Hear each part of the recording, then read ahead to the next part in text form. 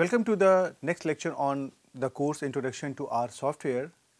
Uh, you may recall that in the uh, last lecture we, uh, we were discussing some matrix operations and uh, we started with a discussion on how to do the matrix multiplications in R.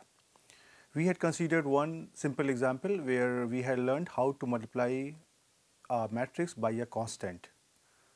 Now we are going to explore some more uh, topics on the matrix manipulation and we will start with uh, the matrix multiplication particularly when we are trying to multiply two matrices and then we will try to see some more aspect like as addition, subtraction and some other details about the matrix operation.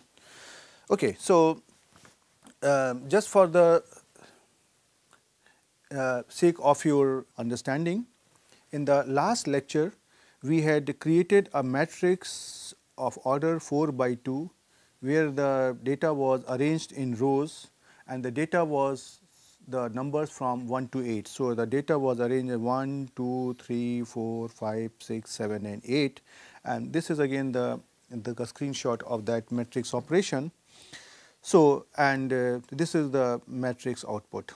So, we are again going to work on uh, this type of matrices. Okay. So, uh, now first we consider how to do the multiplication of two matrices. The first thing what you have to understand the operator for matrix multiplication is this which is a percentage sign multiplication and percentage sign. So, the multiplication sign is enclosed inside two percentage signs. This will indicate that this is a matrix multiplication. If you do not uh, use this percentage sign, then it means that this is a simple multiplication or this is only a multiplication of a scalar for the matrix, right. So, let try to do some elementary operation and then we try to show that how the things are happening. So, let try to create two matrices. One matrix I already have which is here X and in the earlier lecture we had created another matrix which was the transpose of X. So, these are the two matrices that I already have created and you can recall that the order of the transpose of X was 2 by 4 and the order of your X matrix is 4 by 2. So, whenever I am trying to multiply them together then it becomes here 2 by 4 which is of order Tx and say x here 4 by 2. So, these two things are matching. So, my product is well defined and then ultimately I will get an outcome which is of order 2 by 2 matrix right. So, as soon as I do so you can see here. So, when I try to multiply the transpose of x and x which are two matrices I try to store their values in this variable name xtx and this and the outcome of xtx comes out to be like this. So, now let us try to do this thing over the R console and let us try to think, see how the things happen. Okay. So, now let us come to here R. You may recall that we already had stored this matrix X and with this we had obtained the transpose of X like this and so now I am trying to multiply it here transpose of X and uh, multiplied by which is the matrix multiplication. So, say x and you can see here this comes out to be like this right. Similarly, if you try to take any two matrices whose orders are well defined for the purpose of matrix multiplication, you can get the same outcome. And we all know that in mathematics this matrix uh, matrix theory helps us a lot and this matrix manipulations are very important to learn right and transpose is one of the basic fundamental operation. And uh, there's another thing which I would try to show you. Suppose you want to find out this multiplication transpose of x matrix into transpose of x, then we already have shown you how to get it done. Similarly, in case if you have any other two matrices A and B which you want to multiply, suppose and uh, their order condition is satisfied. So, I will try to write down here A percentage star percentage B, there will be no issue. But here I would like to show you that whenever you are trying to find out a particular type of product uh, where you are trying to multiply the transpose of x and x, then there is another built in command in R which is called as crossprod which is the cross product of uh, transpose of x and x. So, instead of writing the entire thing I can simply write here crossprod and inside the bracket I will try to write down the matrix uh, whose multiplication I want in a way like uh, transpose of its matrix multiplied by its multiplied by the matrix. So, and the advantage of this uh, operation is that that uh, this executes the multiplication faster than doing the basic manipulation by transpose of x and multiplication by x matrix. Oh well here uh, if you try to see okay let us try to first uh, first see what happens and I will try to explain you something more. So, if you try to see here if I try to write down here cross product of here x and uh, now you can see here this is the same thing which we have obtained. Now, if I try to see here cross product of x you can see here that this outcome earlier outcome and this outcome is the same right okay. Uh, now before i go further i just told you that in case if you try to use the command crossprod then it is faster and it gives you the faster multiplication. But you have seen that there was no difference in, in the speed. As soon as you enter you get the values. But please remember one thing. These are very small number of values. Now the time has come where we are dealing with high dimensional data, where the order of the matrices may be several thousands even. One thing you have to keep in mind that every software has a limitation for multiplication, finding inverse and different types of matrix manipulations. And even when you are trying to deal with a matrix of say order 20 by 20 or say 100 by 100, then you will see that uh, what is the difference in the speed of execution of a command in R. In such a 2 by 2 or 4 by 4 matrices, you will not be able to find out the difference in the speed of the operation. And similarly, when I told you ab about some other basic fundamental like is finding out the dimension of a matrix or the number of rows in a matrix or number of columns in a matrix, well in a matrix of order 2 by 2, 4 by 4 or 5 by 5 we can count by hand. But suppose you are given some matrix of say order say this 200 by 200, it is practically very difficult to find out how to count the number of rows and columns. So, in such situation uh, these commands like uh, uh, nrow or say ncol they help us. Okay. So, okay, now we move ahead and let us try to come uh, on say another aspect that how we can do the, ad, uh, the addition and subtraction of matrices. So, suppose I have here two matrices A and B when I am trying to say that I want to add these matrices, we know from the basic fundamental rule that both the matrices should have the same order. Say if this order is P cross Q, there are P, P number of rows and Q number of columns, then B should also have P number of rows uh, and Q number of columns. So, the order of both the matrices should be same. That you have to keep in mind right this is the basic fundamental. Similarly when you are trying to subtract two uh, two matrices in the uh, same operation uh, same fundamental continues that the order of the two matrices A and B they should be the same. Right so and whenever I am trying to do the addition and subtraction they are operated by simple command like as plus and minus. There is no issue there is no additional this operator Right. So, let us try to take some simple example and try to see how we can find out the addition and subtraction. So, I will again continue with our same matrix here x which was a 4 by 2 matrix and which the data was entered as 1, 2, 3, 4, 5, 6, 7 and 8 row wise. So, I will try to take here the same matrix and I will try to create another matrix and then I will try to show the addition subtraction. So, I simply try to so um, say create another matrix which we had created earlier in the last lecture just by uh, multiplying the matrix x by 4 a scalar and so we obtain this thing that we had seen in the last lecture. Now suppose if I want to add these two matrices x and 4 into x you can see here the command is very very simple. You simply have to write down here x plus 4 star x and you get here the same outcome. Right and what really happens in this uh, matrix addition? The corresponding elements are added. The element at the address 1 1 is added from another matrix having the same address 1 1.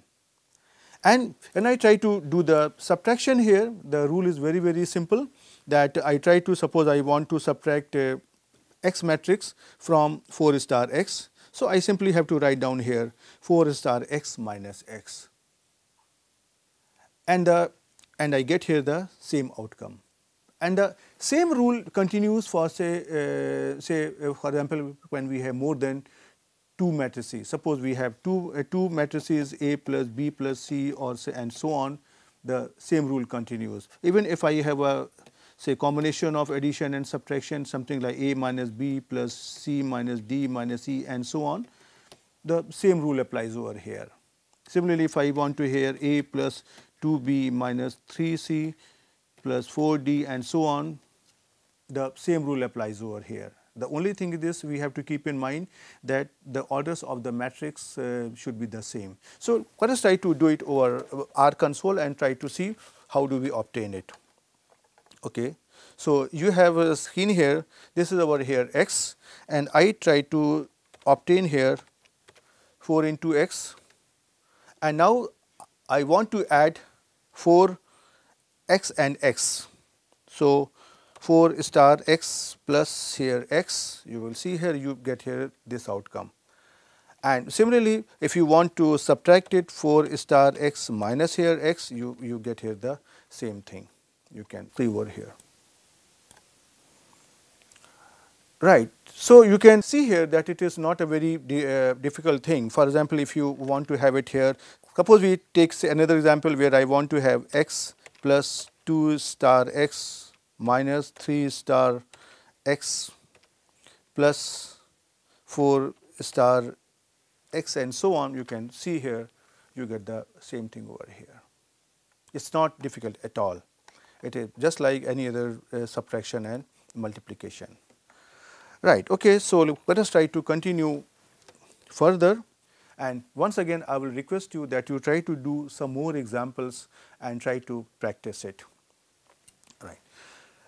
Once uh, we have created a matrix, there are situations where I would like to access a particular element of the matrix, a particular row of the matrix or a particular column of the matrix. So, now I am trying to show you how we can do it.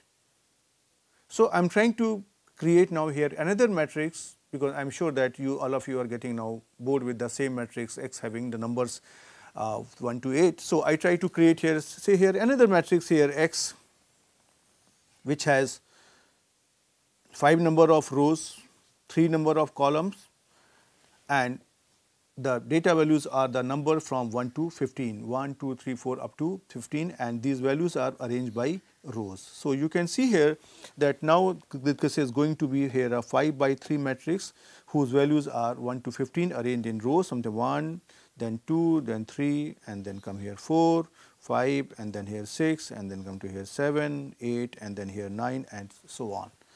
So, once you try to uh, do it over R you get here this type of screenshot. So, this outcome can be obtained now very easily and now you can see here that uh, suppose I want to obtain here the suppose third row of this matrix. So, now how to do it here? This I am trying to do it here. I, am, I simply have to write down here the name of the matrix and inside the square brackets. Please remember this thing, this is very important. Now, I am going to use the square bracket. Inside the bracket, you have to write the third row and that is all. comma and then blank. Once you try to do so here, you will get the outcome as the third row, you can see here. Similarly, in case if you want to have access to the second column, second column here is the containing the values here 2, 5, 8, 11, 14.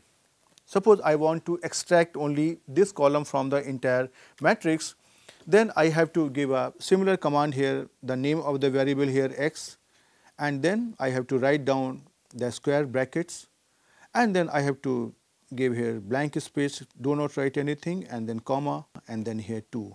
So, this will give me an access to the second column and as soon as you type it, you get this value over here or this is the screenshot you can see over here. Right. And suppose you want to have a subsection of a matrix. Suppose just for the sake of understanding, I am trying to take here fourth and fifth rows and second and third column. The symbol, the meaning of this symbol colon is simply from from and to. So, this is trying to say here from 4 to 5 and this is trying to say here from 2 to 3. This is about the rows and this is about the columns. So, I am trying to say here that I want to extract here a submatrix which is containing the fourth and fifth rows and second and third columns.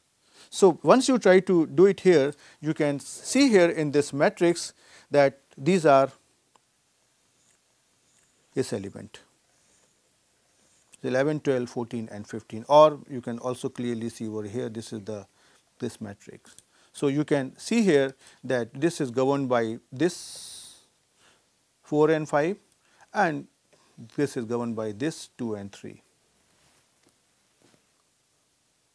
This is how we can obtain a particular element, particular row, particular column or, or even a particular submatrix. Let us try to do it over the R console and try to see how it happens. Right. So, first I try to create here this matrix here well, I am trying to save my time. Okay. So, if you try to see here, I have this here matrix, the same matrix over here. And now, I try to obtain here the same thing, the third row. So, you can see here the third row is containing the values 7, 8 and 9 here and this is the thing what I have obtained here right. Suppose I want to have here information about the second column. So, I have to write down here x, the variable name, matrix name, blank, then comma and then here 2 and then bracket close. So, you so I get, get here the same thing which is here 2, 5, 8, 11, 14 which is here and then I get it over here. And similarly, if I want to have a particular subsection, so I can write down here like this and you can see here that 11, 12, 14, 15 this is a subsection of here, here and say here right. Similarly, if you want to have here something here more for example, if I want to have a 3 to 5 and say here 1 to 3 and so on this type of submatrix that can also be obtained over here and you can see here this is a particular submatrix of the given matrix. Right, okay. So, once again I would request you that you please try to do some more practice with these things. There is another important aspect in matrix operation to find out the inverse of a matrix. The inverse of a matrix uh, is defined in such a way so that if I have here a matrix here A and if I try to find out here its inverse A inverse then their matrix multiplication will give me an identity matrix I. Right. So, how to find out the inverse of a matrix in matrix operation? There is a simple command in R to find out the inverse. Right. This command is here solve S O L V E and inside the bracket you have to give the name of the matrix whose inverse you want to find. Why this is actually solved? Those who are familiar with the matrix theory and some and some linear equation, uh, we always try to find out. Uh, we always try to solve the equation something like y Ax and from there after solving this type of equation they are trying to obtain the inverse of a matrix and that is why this is uh, called as solve command in R. Right. So, let us try to take some example and let us try to see here how you can obtain here. So, I have simply taken here a matrix here for example here I have created here another matrix. Remember one thing uh, whenever you are trying to find out the inverse of a matrix, the matrix has to be a square matrix and a positive definite matrix. Right. Earlier I had created a matrix which was of order 4 by 2. I cannot find out the unique inverse of uh, that matrix. Well, there are something like generalized inverse, those things can be found, but here we are not going to that uh, detail uh, discussion. So, now I try to create here a matrix here see here y and you can see here that this is here uh, y here is like this. And so, this is essentially a 2 by 2 matrix and I want to find out its inverse. So, I will say here simply solve y and this will give us the inverse of this matrix. And if you want to really verify whether this is really an inverse or not, so I will say here I can try to multiply y and solve y together. So, y my matrix multiplication solve and let us try to see I get here an identity matrix of order 1 by 1. So, you can be sure that solve is trying to give us the uh, inverse of the matrix. Okay. So, okay, now we'll, let us come back to our slides and uh, the last command which I would like to share with you is another important command in matrix theory to find out the eigenvalues.